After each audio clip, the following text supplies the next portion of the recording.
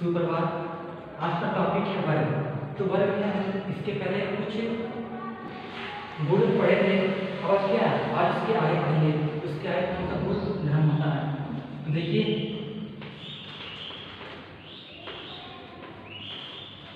जो नेक्स्ट होता है।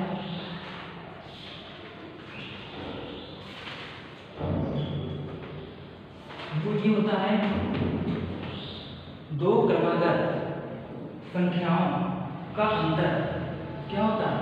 उनके योग के क्या होता है? बराबर होता है या छोटी संख्या के दुगने से क्या होता है?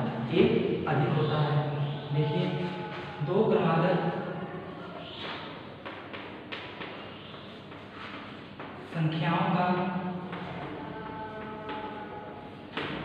अंतर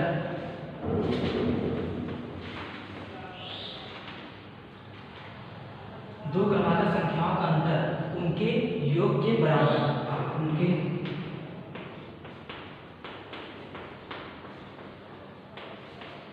योग के बराबर या या छोटी संख्या के, छोटी संख्या के दुगने से एक अधिक होता है। एक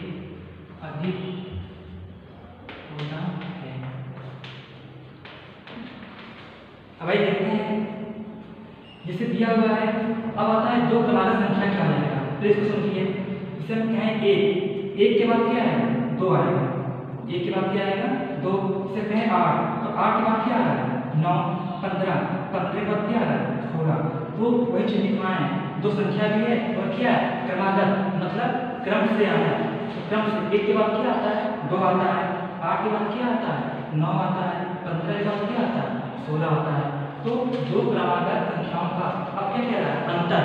अब क्या करेंगे? जो संख्याएँ दी हैं, क्या कर लेंगे? उसका अंतर ले लेंगे जिसी संख्या लिखी है। तो क्या कर लेंगे?